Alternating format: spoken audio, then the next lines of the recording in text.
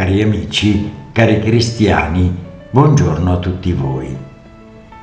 È un giorno in cui la tristezza e la malinconia possono aggredire il nostro cuore, questo di oggi in cui ricordiamo tutti i defunti. In questi giorni andiamo tutti sulle tombe a ricordare coloro che abbiamo amato e il dubbio si insinua in noi, ma che ne sarà di noi, ma che ne è stato di loro? E allora non possiamo che interrogare la parola di Dio, ascoltarla, per vedere se in essa vi è quel conforto che con tanto desiderio andiamo cercando. Lettura del Vangelo secondo Giovanni. In quel tempo il Signore Gesù disse ai Giudei, Come il Padre risuscita i morti e dà la vita, così anche il Figlio dà la vita a chi egli vuole. Il Padre infatti non giudica nessuno, ma ha dato ogni giudizio al Figlio, perché tutti onorino il Figlio come onorano il Padre. Chi non onora il Figlio, non onora il Padre che lo ha mandato. In verità, in verità io vi dico, chi ascolta la mia parola e crede a colui che mi ha mandato, ha la vita eterna e non va incontro al giudizio, ma è passato dalla morte alla vita. In verità, in verità io vi dico, viene l'ora, ed è questa, in cui i morti udranno la voce del Figlio di Dio e quelli che l'avranno ascoltata vivranno.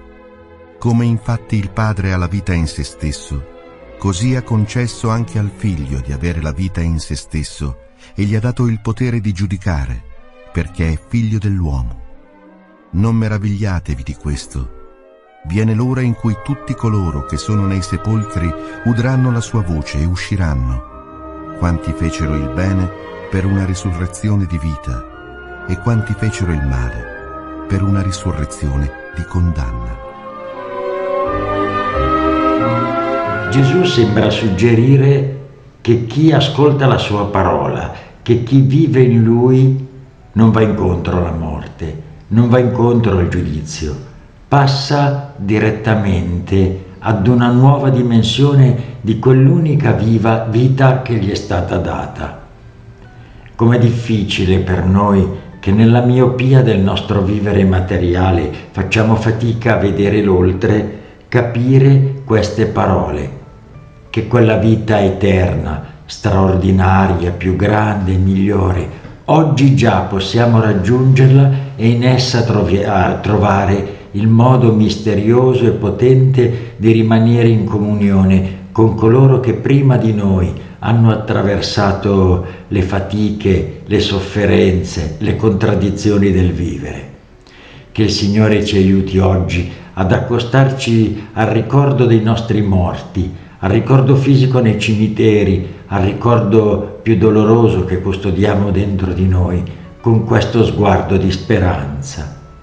Loro sono vivi, loro possono godere dell'aiuto nostro attraverso una nostra preghiera o un nostro gesto di carità. Buona giornata a tutti voi, carissimi.